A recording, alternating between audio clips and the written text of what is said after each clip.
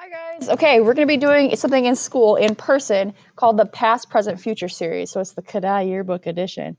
Pretty much, we're going to be looking at some of the old yearbooks and trying to recreate a photograph. Okay, so looking back at old photographs, we can see like students are kind of doing some of the same things, but they're using different technologies. Okay, for example, look at these. They're just what are those typing machines? I have no idea. Okay, obviously it's really amazing to see the differences and similarities that we have in education things that have changed over time and things that really still stay the same. It's amazing how we still have the same desks okay?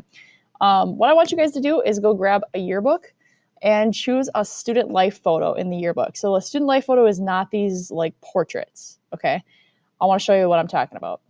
Okay guys. I know you probably have seen this cabinet before okay? But this is my sticker cabinet. It has all the yearbooks in it, okay? So I want you guys to actually look in here. The lower you go, the older they get. Okay, there's some really oldie moldies, okay? Do not grab the Holy Bible. Don't do it. Okay, we need that.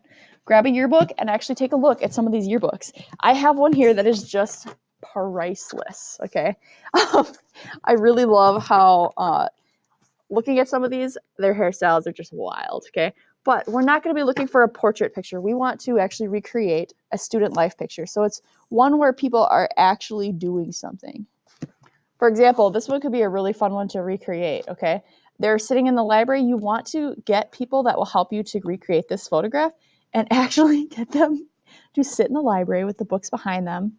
They're concentrating on stuff and try to get them to be in the same exact position as this photo. So you're going to have to take a picture of this photograph, upload it, and then actually try to take that and recreate this entire situation. This is another really cute one.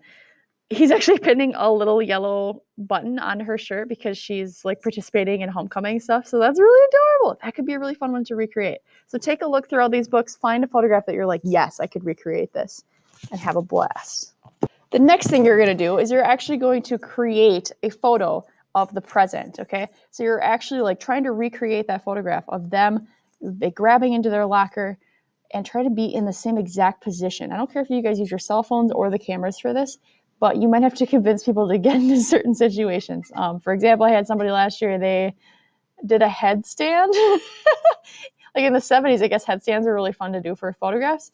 There's still things that we do that are just ridiculous. So it might be kind of difficult to convince people to do some of this stuff, okay? The last thing you're going to do is actually tell us what you think the future is going to look like. Okay. So you're going to write a short artist statement. I'll talk about that in a second. It's three to five sentences about what you think the future will look like 50 years from now. Okay. So here's how you write an artist statement. You put the title. So give your give your t- give it a title. Tell tell me what do you think it's going to be called. Okay.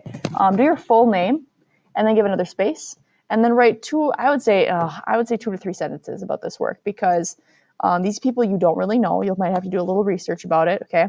But uh, ramble on about like why you picked the photo, what year it came from, what you thought was like strange, funny, interesting about it, and finally give your opinion on how the content of this photo might change in the future. Okay, add what you think is going to stay the same. There's going to be things that are obviously going to stay the same. The people are probably going to look, I guess, the same. Maybe not. Depends on if we look at some of the 80s yearbooks. the last thing you're going to do, you're going to upload your photographs to the two print slides at the end of the week, okay? And then have the substitute actually print them out. All of the slides have been shared to his high school sub at cadott blah blah blah email, okay? And he can print all of your work at once. Okay, I'm excited to see your work.